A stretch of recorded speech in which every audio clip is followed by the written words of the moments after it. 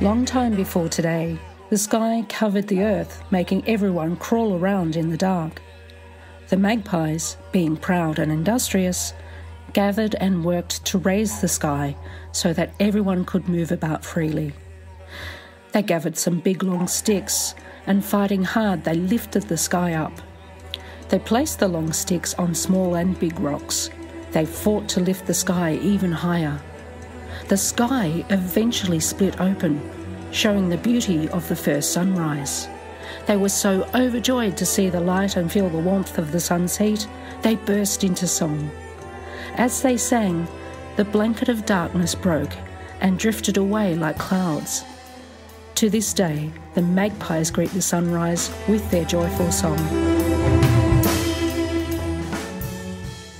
When I was a kid in school, my teacher told me that Australian history began in 1788 when British settlers raised their flags, claiming that they were the rightful owners of the land under the law of terra nullius. When I was a kid in school during the 70s and 80s, my teacher told me that Aboriginal people were primitive hunter gatherers.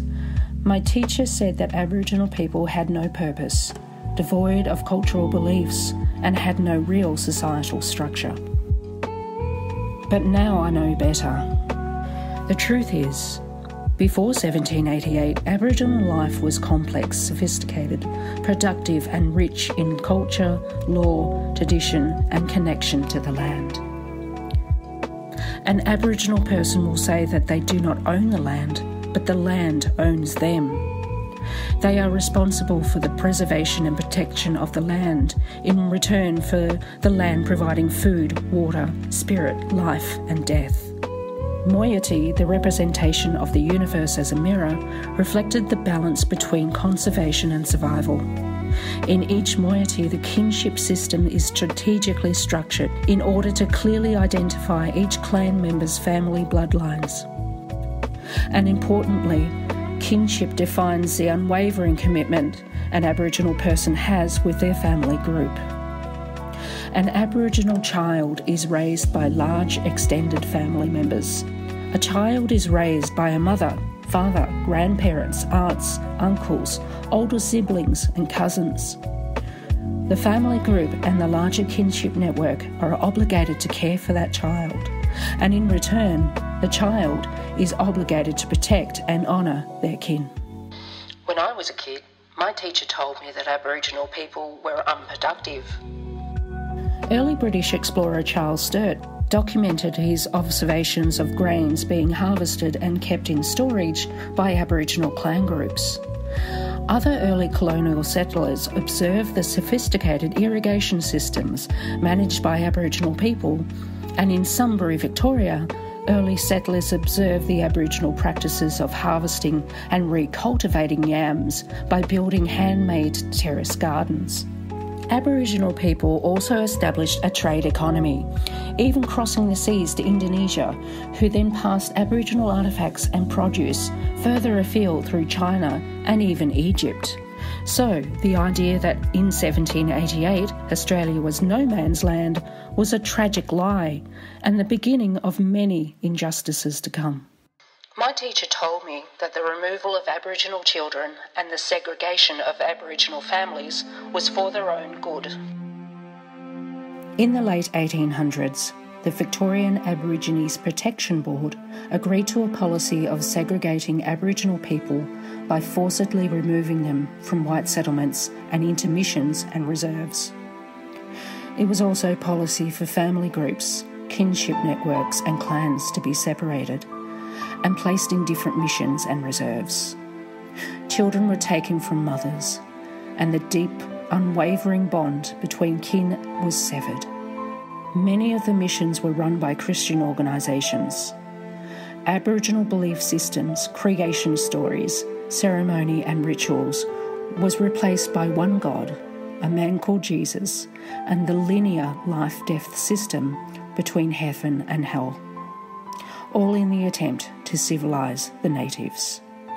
Sadly, many survivors of the missions and reserves spoke of horrific violence, corporal punishment, and sexual abuse at the hands of government officials or Christian missionaries. From the 1920s right up until the 1960s, Aboriginal boys were then sent to work as apprentices or on farms, with the girls being sent to servitude. The policy of removing Aboriginal children for their own protection had one main goal to whitewash the government's hands of what was known as the Aboriginal problem. When I was a young adult, a Prime Minister once said, We took the traditional lands and smashed a traditional way of life. We brought the diseases and the alcohol. We committed the murders. We took the children from their mothers.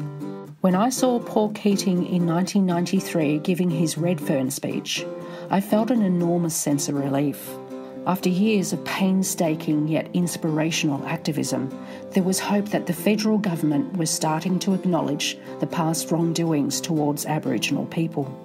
Throughout my early adulthood, I continued to unearth more and more stories of injustices and racism towards Aboriginal people. But in a sign of hope, I saw leaders from Paul Keating to Kevin Rudd attempting to reach out and heal the past. But unfortunately, there's still a long way to go. After studying Aboriginal studies at Deakin University, I now feel a deeper understanding of our history.